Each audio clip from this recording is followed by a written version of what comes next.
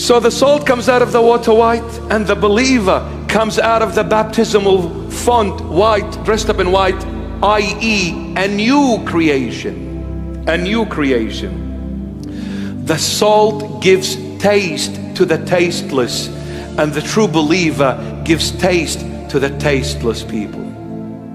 You see, when other people encounter, have an encounter with you, they say, I've never felt this way before. I've never experienced this before.